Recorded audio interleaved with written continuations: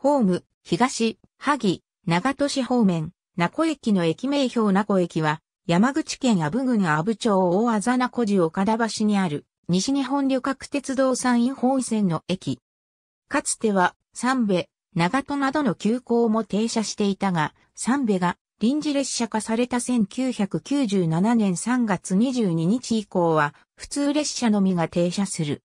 近くに山口県立萩高等学校な古文校があるため、萩方面からの通学客が多く、2016年3月26日のダイヤ改正までは、長門市駅から東駅までの区間運転も設定されていた。改正以降は、隣の清駅発着となった。長門市方面に向かって、右側に単式ホーム一面一線を有する地上駅。